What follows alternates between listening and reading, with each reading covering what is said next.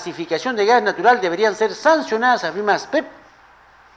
Las municipalidades que incumplen con el otorgamiento de licencia para la instalación de tuberías de gas natural en los plazos estipulados por las normas y perjudican a la población deberían ser sancionadas de alguna manera, informó la Asociación Peruana de Consumidores ASPEC. Hasta el momento no hemos recibido ninguna denuncia ni de las empresas ni de los usuarios sobre este punto y, no de recibirlo tendríamos que tomar las medidas porque están preocupando a los consumidores. Caramba, caramba, con ASPEP, ASPE, ASPE, ASPE. Hay, conversión de vehículos a gas natural aumentará en 25.000 unidades anuales. Los vehículos que utilizan gas natural como combustible crecerán a un ritmo de 25.000 unidades anuales, con lo cual en los próximos cinco años el parque automotor, que actualmente tiene 130.000 vehículos, contará con más de 100.000 unidades adicionales, lo informó el gerente general de calidad Adolfo Jare.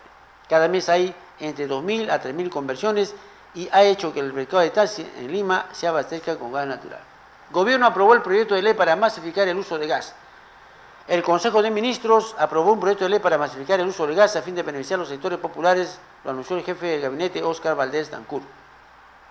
El ministro de Energía y Minas, Jorge Merino, detalló que el referido proyecto consta de dos partes, creación del sistema de seguridad energética y un fondo de inclusión social energético. En cuanto al sistema de seguridad energética, se busca dotar al país de la infraestructura necesaria tanto en uso como en almacenamiento para asegurar el debido suministro de combustible, señaló en conferencia de prensa.